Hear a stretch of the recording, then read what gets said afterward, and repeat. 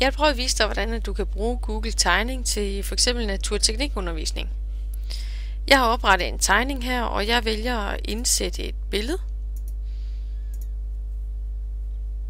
Og jeg søger på et billede herover.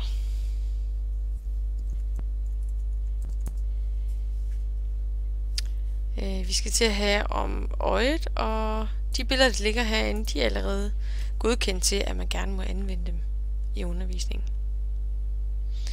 Så kan vi sige, at det her billede her, der kan jeg godt lægge, tænke mig at lægge nogle ting ind, som eleven så skal skrive ordene på. Så jeg laver sådan nogle firkanter rundt omkring. Det kunne være her. Og ja, så kunne jeg vælge at kopiere den og sætte ind. Så sige, de skal også beskrive, hvad det her det er.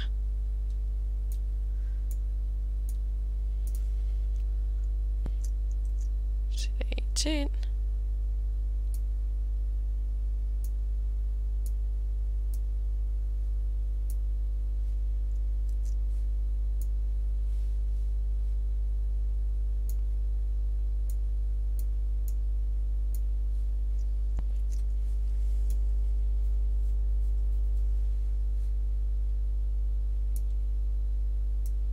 Sådan der.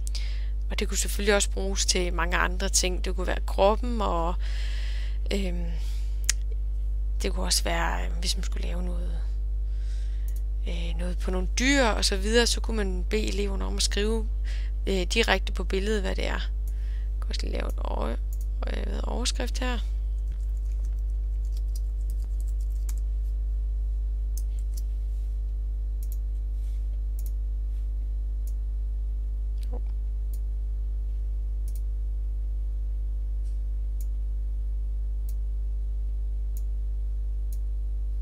Så. Øhm, det jeg så gerne vil, jamen det er jo egentlig, at øh, eleverne de skal kunne hente hver deres øh, tegning, som de skal arbejde med. Og det kan jeg gøre ved at gå herop på del.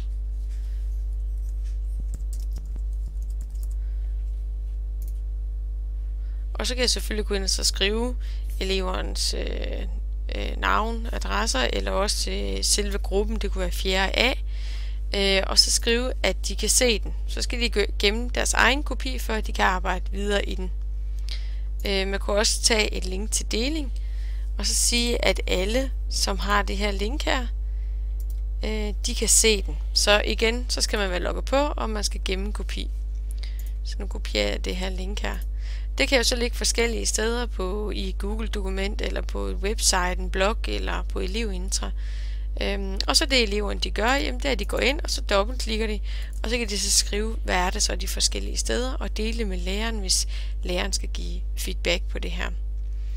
Øh, linket det ligger jeg nede i, øh, i den her videovejledning, hvis det er, du kunne tænke dig at prøve at selv arbejde videre med den her, øh, som jeg lige har lavet, den her tegning her.